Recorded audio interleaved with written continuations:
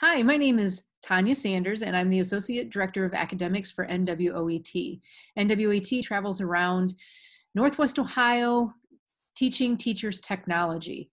So, this YouTube series, this playlist, is going to be called FCS Educational Tools to Use with Your Blended or Remote Classroom, the basics. We are designing this specifically for Findlay City Schools in mind, so we've done this just for you.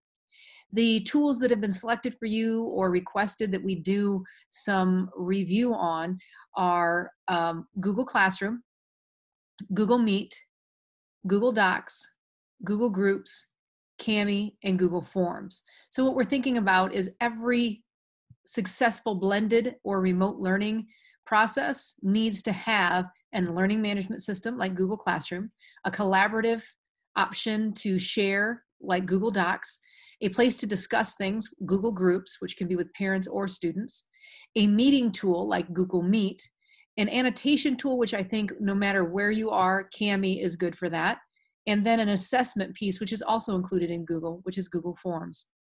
So as you go through this series, um, you'll be learning the basics of how to use that tool. Uh, and then I go a little bit in depth based on um, how I kind of ramble on with each of these tools. So I had planned on all of these videos being 10 minutes or less, and as you look through the playlist, you can see that all of them are um, 16 minutes or more. So go through each of these series, and when you're done with the video, uh, you will be given a link to an assessment, and you can complete that assessment. Basically, that assessment, if you get an 80% or higher, will give you 3.5 contact hours towards your licensure.